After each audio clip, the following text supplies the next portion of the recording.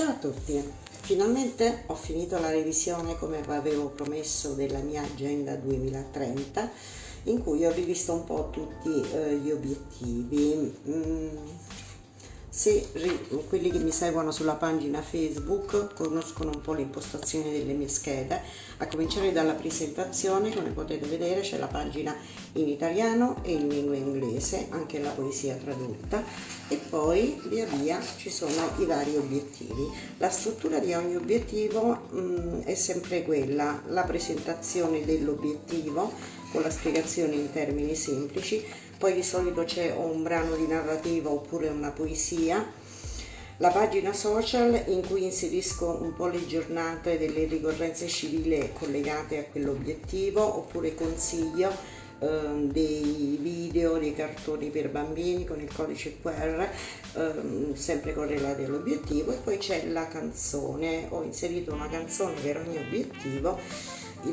sempre contestualizzata e sempre scelte veramente con molta cura, mm, con grande ricerca, ehm, in modo che siano accattivanti e graditi ai bambini. E per finire c'è sempre la pagina Krill per ogni obiettivo. Il linguaggio è estremamente semplice e um, trasversale al massimo. Le uh, finalità infatti dell'educazione civica, così come oggi viene, uh, ci viene richiesta, è della trasversalità, quindi le attività a parte l'inglese con il CRIL saranno varie di geografia, di um, matematica,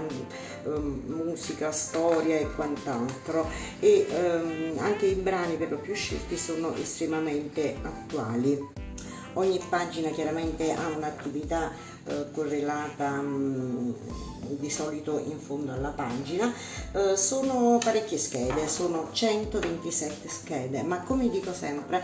non sono necessariamente da uh, stampare, innanzitutto perché ognuno può scegliere uh, le attività e le schede che ritiene idonee al proprio contesto e poi perché um, io per lo più mi limito uh, a fornire spunti, spunti di um, attività. Infine, non ve le sto a far vedere tutte, vedete, è venuto un po' quasi un libro, infine e se vi interessa um, la ritrovate nel mio shop e per chi la prende c'è un omaggio che mi sono divertita a fare, un calendario da appendere in classe delle ricorrenze civili 2021-2022, qui chiaramente devo correggere perché ho fatto partire da settembre un calendario solo scolastico, ogni mese ha la giornata che indico cerchiata e um, c'è sempre il logo dell'agenda 2030 e una frase eh, che si riferisce a una delle giornate per ogni, per ogni mese. Mi è sembrato carino, penso che sicuramente lo appenderò in classe. Questo è tutto, ciao, a presto, alla prossima.